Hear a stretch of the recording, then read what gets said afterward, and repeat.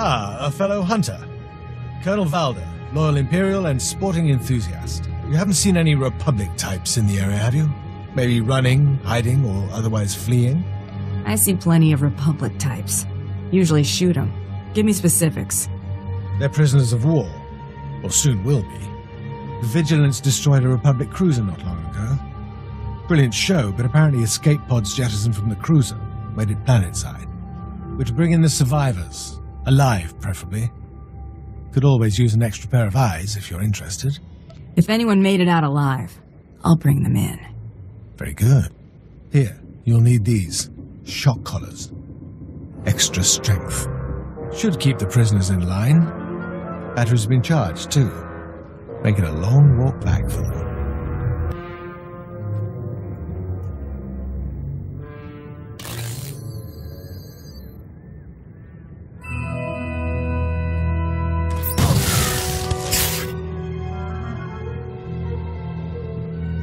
I found the Republic survivors. They put up a fight, but they're all yours now. Excellent.